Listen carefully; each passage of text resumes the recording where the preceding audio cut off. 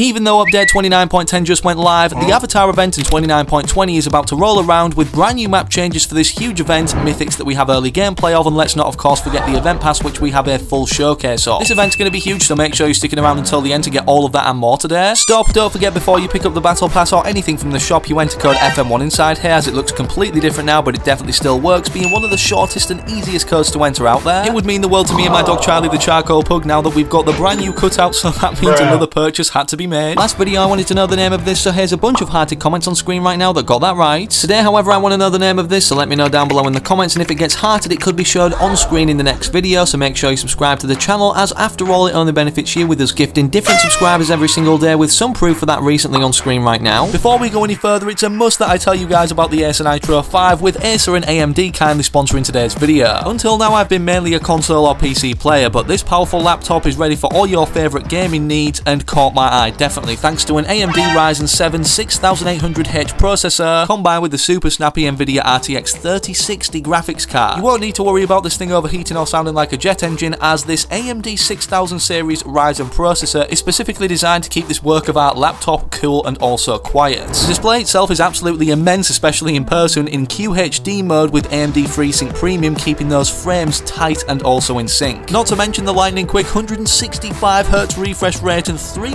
millisecond response time guaranteeing your gaming sessions will be fluid, unbroken, and unmatched. This fixes the issue most laptops have, feeling like a volcano on whatever surface you've got it on after some time, as the newly refined chassis comes with a few extra tricks up its sleeve in the form of dual fan cooling, dual intakes top and bottom, and a quad exhaust port design for extra control, and pop open the NitroSense utility app and take command over fan speeds, lighting, and more for your own unique customization. The NitroSense app allows you to take command over the inner workings of the laptop with the 4-zone RGB keyboard, which also has the WASD arrow keys highlighted for easy visibility, which I think we can all agree as gamers is a huge W, no pun intended, as it's one of the keys. This is the laptop to get, so don't miss out by clicking the link at the top of the video description down below or the pinned comment now and pick up yours today as you will never look back with this thing. Okay, so diving straight into it all before the Avatar event pass, which we've got a ton of intel on, literally everything leaked. Of course, you'll be able to see on the Fortnite menu now upon logging on that the new Fortnite crew skin is Ares, officially in game. Fun fact, Fortnite released a cinematic short introducing Ares, and in the description of this initially, it stated fresh from the battlefield, Ares available in the Myths Immortal Battle Pass, meaning Ares was initially intended to be in the Battle Pass, but for whatever reason got moved to the Fortnite crew for the month of April, which we can see of course his LEGO version, the back bling being the Warrior's Cape, the pickaxe Immortal War Doru, and then all of the legacy styles that we'll be able to get for being subscribed for one month, then two months,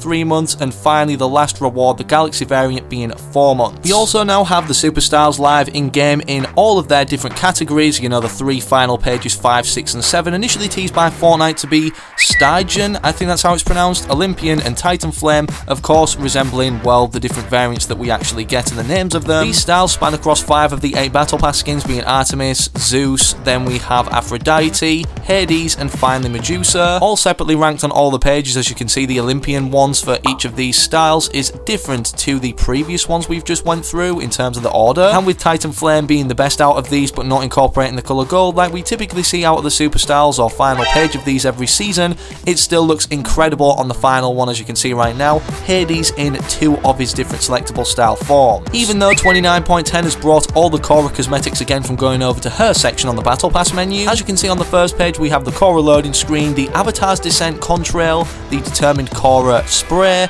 the Water Tribe Colours wrap, then this dual-wield pickaxe, which I think is insane, covering your hands, being the Waterbenders battle fans, and then finally Korra to end off page 1, which also means this second page of cosmetics right now, as you can see, balanced Korra being the first one, which is a loading screen according to the description, but for whatever reason right now is glitched out and is still a question mark. Here's what that would look like inside the box as a reward anyways on this kind of preview or reward tab. Then we have the Korra React sticker, which obviously is a reactive sticker. The Avatar Cycle back which is one of my favourite back blings in all honesty, just constantly rotating throughout the different elements, which is relevant elements to the event pass, which we're going to be talking about in just a second. We have the Korra's Air Glider, Then this really cool Avatar's Flourish emote, which obviously goes through the different elements once again, and finally the balanced selectable style, which honestly I wasn't expecting to see for Korra. I personally thought this hooded version we'd be getting. Korra was initially shown off for the first time in the Chapter 5 Season 2 trailer, using her mythic ability, which now has officially been leaked early. However, like the reward isn't currently available in-game. As you can see, this kind of looks like a weapon wrap that we pick up and obviously use, again just like shown in the trailer. And despite this mythic coming to the game in the hotfix where the Korra rewards will be available, Fortnite is also working on three more mythic abilities for this season,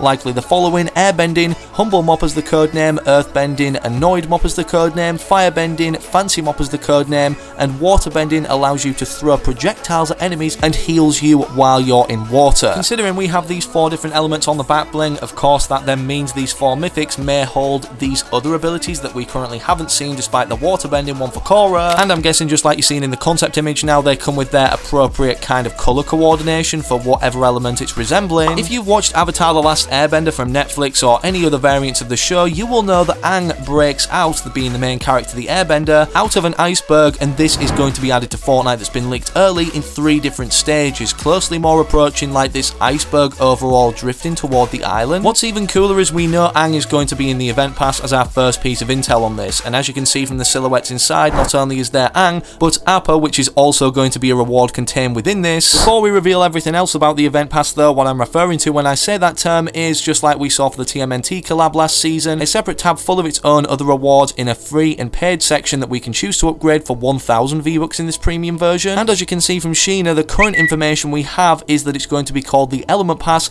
Event Pass for Fortnite X Avatar, instantly unlock Aang after the purchase of 1000 V-Bucks. It has free and paid rewards, skins have normal and LEGO variants already made, the event ends May 3rd, and the Appa Glider will be available toward the event's end. Considering we know it ends May 3rd, this event will be kicking off very soon, but with the Aang skin and other cosmetics in the paid and free section not in the files, this pretty much confirms that 29.20 needs to be soon, around April 9th I'd say, going live, literally between one or two weeks after the 29.10 update, with 29.30 and 29.40 being the final two versions before the next season, which is 30.00 Chapter 5 Season 3 starting on according to the Battle Pass that hasn't changed any of the updates so far, May 24th at 2am Eastern Time. When this rolls around, don't forget to have code FM1 entered inside the item shop to greatly support me and Charlie the Charcoal Pug, nobody doing it like us, getting cardboard cutouts and stuff, going the extra mile. Not to mention for all the other things that are also released now in the item shop, such as the Guardians of the Galaxy bundle with a different variant of Groot, which initially released in Chapter 2 Season 4 as a part of the Marvel Battle Pass, as well as the Mantis skin and her full set, but most importantly what was teased in the LEGO form in the LEGO Cars Update teaser image, as you can see Drax right here in the LEGO and also normal form. Azuki, another skin that we haven't seen in a while, is also in the item shop when I'm recording, and as you can see comes with a new style, which players will have received upon logging in, as well as for the first time after 29.10 many got 950 V-Bucks, literally granted off Epic Games as what seems to be a refund for the Battle Pass not showing correctly for some players, and obviously we had the issues of the downtime literally being over a full day making the season a day late, which technically is a free Battle Pass for Myth and Mortals for everyone, considering if you did buy it, you did get the 950 V-Buck refund, or most likely did. This isn't the only V-Buck refund we've been getting, however, since this update actually happened. As FireMonkey stated, people have begun receiving refunds for Fortnite Festival instruments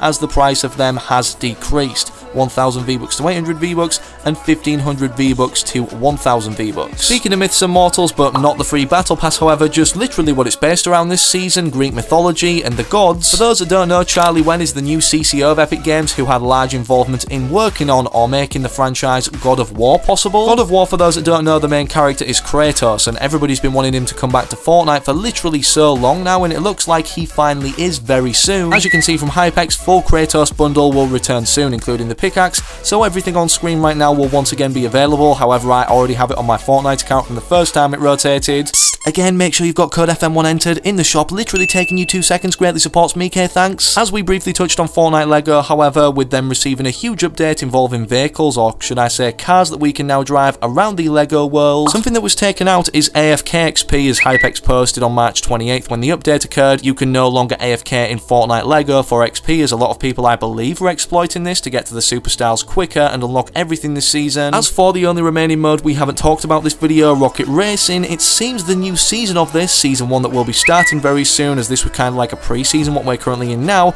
is named Neon Nights and supposedly according to Hypex the release date should be April 9th, with the 29.20 update, as you can see from the patch notes right here. Update March 6, 2024. The Season 0 tune-up quest will now be available until April 9th, 2024 at 12am ET, meaning the free skin we can get in Rocket Racing now will no longer be available, so make sure you're getting this before it disappears. The Mateus skin is meant to be the next one we're seeing for Season 1, which of course we now know is called Neon Knights, and I'm guessing we're going to get even more free rewards leaked in 29.24 this mode when it rolls around, but speaking of free rewards, what we do know that got leaked in 29.10 that will be available soon are the Reboot A Friend cosmetics. As you can see, we have this cool looking wrap along with the glider to complement it and the dual wield pickaxes. Drop a like if you're excited for these free rewards going live as well as the Elements event pass for Avatar and subscribe with all notifications turned on so you don't miss any future leaks or uploads. Do not forget to enter code FM1 once again before you leave this video or the next time you log onto Fortnite. I'm literally trying to see how many people we can get to enter this code with us being able to see the stats as creators. But speaking of other videos, YouTube's got a destination for you now being either of these two, so I'll hopefully see you in the very next one I do publish on the channel.